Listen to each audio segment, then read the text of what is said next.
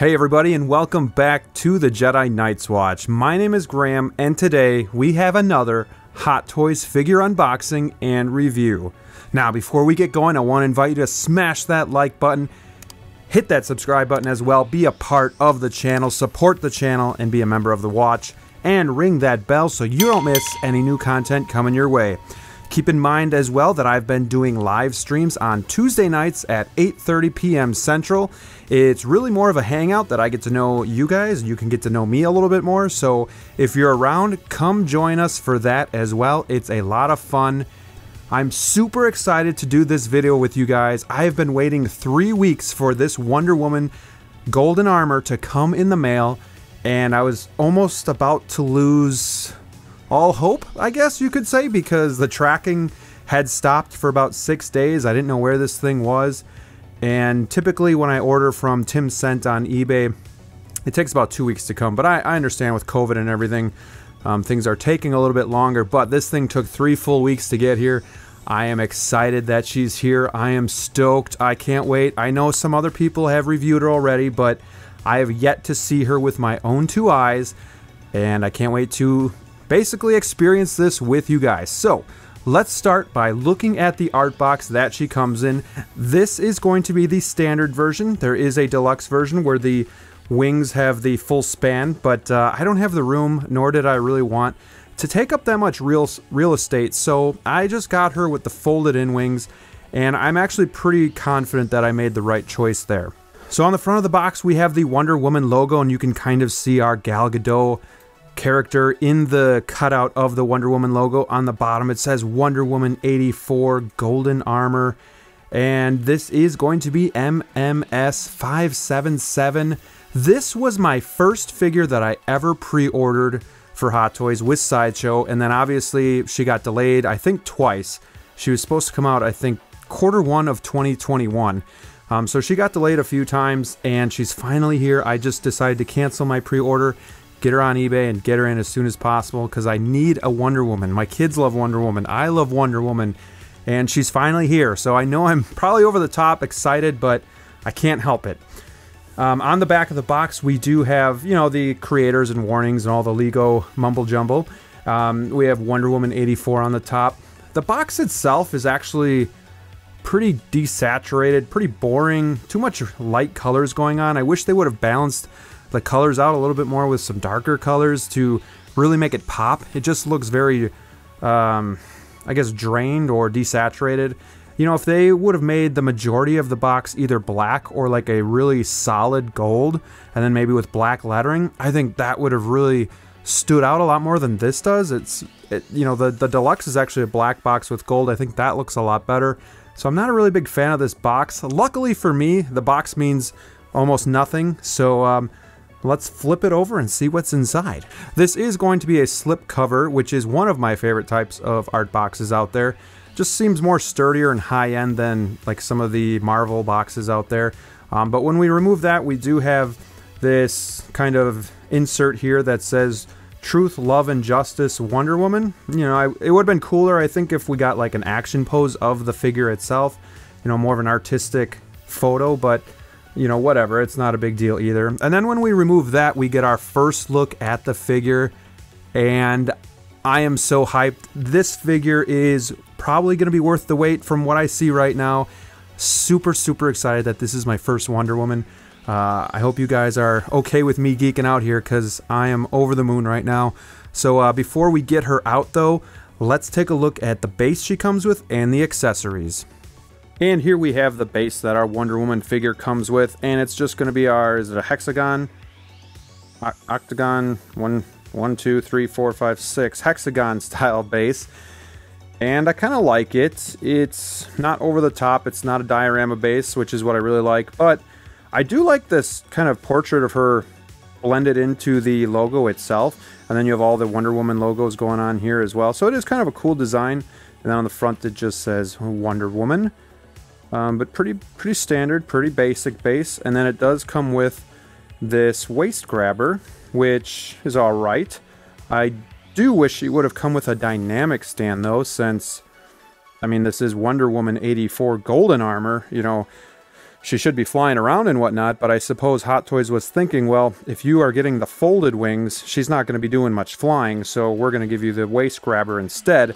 But you could have her without the wings, and she could still be flying around fighting and whatnot. So I think either way, a Wonder Woman figure has to come with a dynamic pole, but uh, they decided not to do that, so I'm not sure if the Deluxe has that or not. So I'd have to check on that, but either way, that is kind of a letdown, but the base itself does look pretty good. Now let's take a look at the accessories. And here we have in front of us all the accessories that come with our Golden Armor Wonder Woman. We have a few extra pair of hands, the golden lasso, and then this extra piece that you can kind of put in her hands to make it look like she's kind of wrapping it up. We have the two helmet pieces here and the folded wings here as well. Now let's start with the hands. That's kind of the most uh, boring part in my opinion are the hands. I don't really like talking about them as much, but we have to because you out there need to know what you're getting. So we have two open hands. On the figure itself, we have two fisted hands. And then here we have... I'm guessing this hand is going to be for the lasso. But I would also think this one could be as well. So we'll have to figure that out. But it's interesting that you have the one kind of a gripping hand and then this one I'm guessing this is for the lasso. I'm not sure what if this is just for the rope itself, but um, yeah, we'll figure that out. And then we do have just kind of an open hand here. Really cool uh, paint application for the gold. It's got a nice texture to it just to make it look like real wrap. So that looks actually pretty impressive. You can just see how it, the gold bounces off the light. And the hands look good. Not much else to say about that. They are female hands. We have the lasso here, which is just kind of a almost like a uh, like a I don't know. It's it doesn't feel very high quality, but it's just kind of a golden little rope. And then we do have this piece. Let's just see here how this works. Um, so I think it would, yeah, just tuck here and here, and then, you know, you could probably have this running through it as well. And then it just looks like she's kind of got it, she's spooling it in her hand. Here is, whoa boy, let's not chip the paint here. Here is the helmet itself, and again, just a really nice paint application and uh, just a super, super shine on it. This thing is going to look awesome in the Detolf shelf because the light is going to just bounce off of it, and it's going to look beautiful. We have like the um, bird, uh, I guess you'd call it beak here, and almost like little eyes there on the uh, helmet itself. And then on the inside, they did do what I was hoping with like the Thanos, where they put foam on the inside so that it doesn't mess the hair or, you know, scratch the head or anything like that. But um, what I'm thinking is, and I'm thinking this is going to be a pain, this piece goes on and then you got to kind of fit this over it and finagle it so that it looks just right. So we'll see how fun that's going to be. And finally, we do have her folded in wings. Again, painted very nice. I love the golden color. And it just uh, goes into those pegs and locks right in. Let's see if we can do this. Maybe. And there you go. So, and then they, whoop, oh, oh boy. Let's see here. Plug that back in. And they do fold. And it does feel pretty tight and sturdy. So I don't expect that to be loose. And then that plugs into the back of the figure. Look at so the light just bounces off there. It looks great. All right, so those are the accessories that come with our Wonder Woman figure. Now, without further ado, let's take a look at Wonder Woman. All right, and here we have our first look at our Wonder Woman figure out of the box. And I gotta say, she looks pretty amazing. I'm gonna have to obviously play with the hair a little bit and get that to sit just right, but this is just her straight out of the box.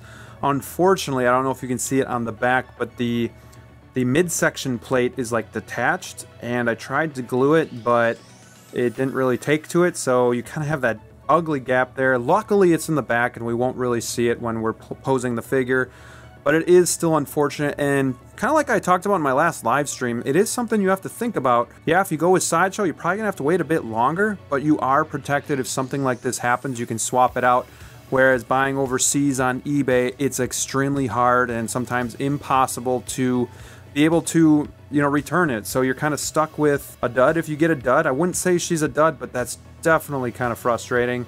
Outside of that, The armor looks amazing. The underlining suit looks amazing as well. The head sculpt looks amazing. I don't feel like the camera does it justice, but let's get a closer look. Let's get her in hand and take a closer look here. And there is that head sculpt of Gal Gadot, Wonder Woman, Princess Diana. I think it looks great. I don't even mind that the eyes are a little bit off to the left. I don't even mind that it has rooted hair. The rooted hair is pretty good. It feels like there's like product in it, um, almost making it like easier to sculpt or, or mess around with. Yeah, you do have these strays here a little bit, and we can kind of try to fix that as we go. But man, tell me that's not Gal Gadot. This one blows the older sculpts out of the water, and this is why I waited to get a Wonder Woman figure. I just never thought that the older figures looked like Gal Gadot at all, and this one I definitely think looks great. Um, the neck looks a little short, but it's because of the collar. Uh, so, you know, that's just kind of something we're going to have to deal with. But overall, the paint application looks great. The paint application on the suit looks great. I would still be careful that it doesn't chip. And if we flip it over, here's what I'm talking about, where I have this gap. And see, we can... So that's very unfortunate and um, kind of bothersome, but it is what it is. This suit here, we have like, it's almost like a Spider-Man material or maybe Black Panther type. So, you know, I do think over time, if you're going to leave her in these poses, this could, you know, become brittle or crack or tear. So just be careful of that. But yeah, this suit is amazing. I love the gold paint. She is going to stand out on the shelf. This right here is material, but then going down here, I believe it's all like sculpted in uh, the patterns and everything, and these plates are, are sculpted in, so they're not going to like peel off or anything like that. And she just looks gorgeous. You got the gauntlets here, nice silver contrast, just kind of stand out a little bit more. And then we do have the boots, and she does have a split cut boot design and some tilt there as well. I'd just be careful though, like you can see some material kind of jamming into the peg hole there. Um, just be careful of that. And she does have full tread on the boots as well. That's pretty cool. So hopefully, you know, she was a little bit hard to get to stand up, but hopefully just having the split cut boot design helps. But um, if you want to peg the wings in, this piece right here just pops off. Oh, and there it goes. And then the wings just peg right in there. So that's how that works. And do I dare to get the helmet on here? Man, I don't know. I almost want to do it off camera just because it's going to be a little bit easier. But basically, uh, I believe this piece sits here. Oh man, here we go. And then the helmet just kind of, so you got this like thing that pegs right into there, so... Oh, boy. This is really tough to do one-handed. So I'm actually going to do it off camera, and then I'll show you what it looks like. And here she is with the helmet on, and that looks amazing, guys. This is a winner in my books. This figure is stunning. You know, the back of the hair kind of looks... It's a little messy when you get the helmet on, but you're not going to notice that. It looks Awesome. Let me just make sure I got it got it on right here. And let's just take a look here at the posability of the figure. The neck has a, some movement, but I can look down a little bit. I think I got this helmet on, but it keeps kind of popping up, so hopefully it's it's right. It looks okay. Arms almost to a 90. And they do have a double bend in the elbow, which is nice. Not a whole lot of movement in the abdomen, and I don't want to push it just because of this piece here, which really, really bothers me. So we'll have to work on that further, but legs, not a whole lot of movement in the in the uh, legs themselves. Good double bend in the knee, though. Does feel like it's on ratchets. Feels good. And then we talked about the split cut boot design. Which goes to about there. There is a swivel in the bicep and a little swivel in the thigh. All right, now let's get into some poses and talk about some of the things that I like and dislike about the figure. All right, so now let's get the figure into some poses and talk about the things that I like about the figure and the things not so much. The first thing that I like about this figure is the head sculpt. We had high hopes when this thing came up for pre-order and I think it lived up to those high hopes. I know we all got worried when we saw the released images of the figure, but man, those photos don't do it justice. This video doesn't do it justice. You have to get the figure in hand to see how amazing it is. And I'm so glad that I didn't cancel my pre-order like a lot of people out there. I'm glad that I stuck with it because this figure is amazing. Doesn't matter if you don't like the movie, the figure is awesome and it's the best Wonder Woman we have to date. The second thing that I really like about the figure is the armor itself. The gold looks amazing and it the light bounces off of it. I love how the legs, the plates are sculpted into the leg there so you don't have to worry about those falling off. I love the inside costume detail uh, and design of this costume. It's just really, really attractive and this figure just stands out wherever you have it. It's going to steal the show from the other figures on the shelf, and you're always going to notice this figure when you walk in the room. And the third thing that I like about the figure is that the wings are detachable, that the helmet comes off, so you can have different looks to Wonder Woman. You don't have to have her in the same exact look. And um, you can have her with the wings on, you can have her with the wings off, you can have her with the helmet on, you can have her with the helmet off, and she looks beautiful any way you pose her. Now for the things that I didn't like as much about the figure. The first would be that we got this waist grabber with our stand and it is atrocious. I don't know why we didn't get a dynamic stand with this one. I mean, I get it. We don't have the full open wingspan, but this is Wonder Woman. She's jumping, she's flying, she's in battle. We should have a dynamic stand with this figure, and the fact that we don't is pretty ridiculous in my opinion. And the way that this waist grabber works is terrible. Like you, it's hard to get it around the waist, and I'm really worried about scratching the paint. And if you have the wings on, well, forget about it. You're gonna have to take the wings off, put her into the waist grabber, and then put the wings on. It's a mess and it's a hassle. The second thing that I don't like about the figure is it's extremely finicky. So I'm noticing like it's not the easiest to get the wings attached or pull them out. You really got to be careful and uh, getting the wrists on. The wrists seem to be wider than the gauntlets themselves, so you have to have it in just the right position. She doesn't stand very well at all on her own, which is a huge, huge down point for me because y'all know I don't like to use my stands in my display. But she, I had a really hard time, and um, I had to go to the stand because that was the only way I could get her to stand without falling, and I don't want to risk scratching the paint. One ankle peg seems to pop out just a little bit, so if I bend it too much, it kind of pops out.